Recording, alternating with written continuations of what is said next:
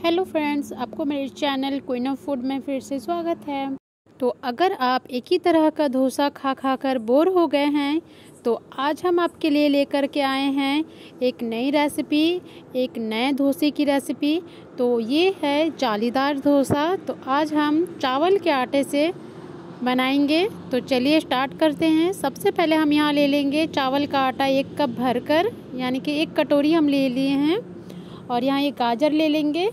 यहाँ धनिया पत्ती ले लेंगे कुछ, और देखिए, एक हरी मिर्च ले लेंगे और एक टीस्पून हम जीरा ले लेंगे।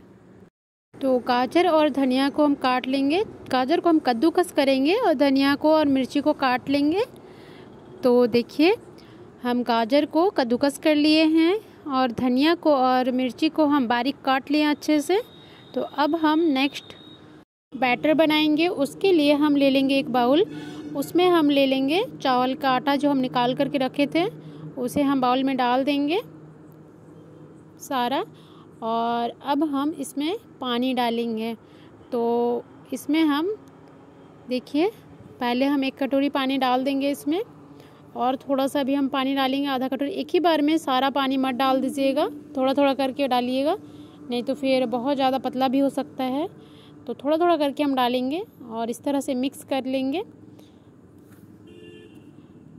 अच्छे से मिक्स करेंगे ताकि कोई लम्स ना रह जाए।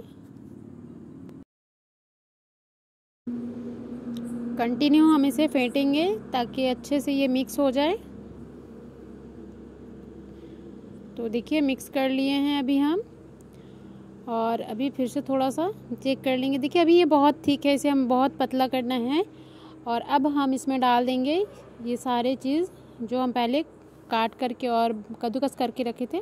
तो देखिए, पहले गाजर डाल देंगे। हमें जितना ज़रूरत है उतना हम डालेंगे। तो देखिए, इतना ही अभी हम डालेंगे। और अभी हम ये सब भी डाल देंगे। धनिया पत्ती और ये हरी मिर्च और ये जीरा भी हम डाल देंगे। आप इसमें काली मिर्च भी कूट करके डाल सकते हैं, क्योंकि हम यहाँ मिर्ची डाले हैं, इसीलिए काली मिर्च नहीं डाल रहे हैं। आप चाहें तो इसमें काली मिर्च भी डाल सकते हैं, लेकिन हम सिर्फ़ जीरा डाल करके बनाएँगे। तो देखिए, इन सबको डाल करके हम अच्छे से आप इसे मिक्स कर लेंगे। और आप, सबसे मेरा रिक्वेस्ट है, वीडियोस को लाइक, शेयर कीजिए और चैनल को सब्सक्राइब करना ना भूलें। और अभी हम नमक डाल देंगे टेस्ट के अकॉर्डिंग। और नमक डालने के बाद भी अच्छे से मिक्स कर लेंगे। तो देखिए, बैटर को अभी हम इतना पतला रखेंगे, लेकिन ज़रूरत पड़े तो इसमें हम थोड़ा सा और भी पानी मिला सकते हैं। बैटर को पतला रखिएगा एकदम।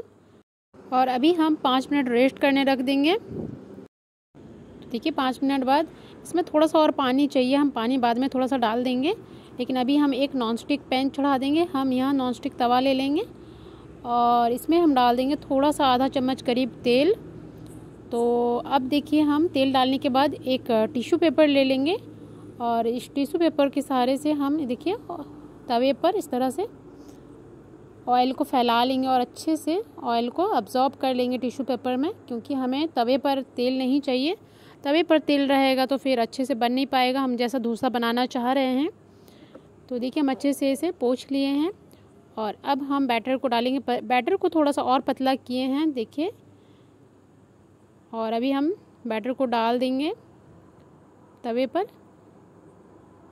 देखिए, बैटर कितना पतला है। इसी तरह से आपको पतला रखना है, नहीं तो फिर बन नहीं पाएगा अच्छे से। तो देखिए, हम सारा डाल दिए हैं। कितना अच्छा से ये जालीदार बना है।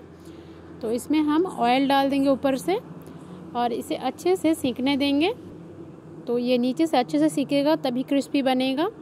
तो आप हाई फ्लेम पर पहले से मत डाल दीजिएगा। ये रेसिपी बहुत ही इजी तरीके से और बहुत ही क्विक बन जाते हैं। देखिए। ये क्रिस्पी हो गया है, एक तरफ़ से अच्छे से हो गया अभी हम इसे फोल्ड कर लेंगे।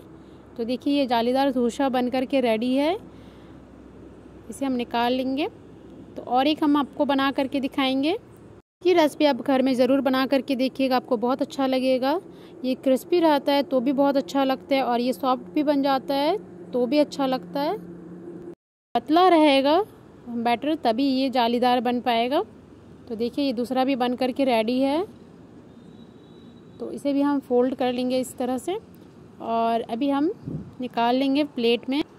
तो देखिए, ये जालीदार डोसा किस तरह से बन कर के रेडी है। हम चटनी के साथ इसे सर्व करेंगे और गर्मा गर्म हम खाएँगे। ये जालीदार डोसा आप बच्चे को दीजिए या फिर बड़ों को, सबको ये बहुत पसंद आएगा।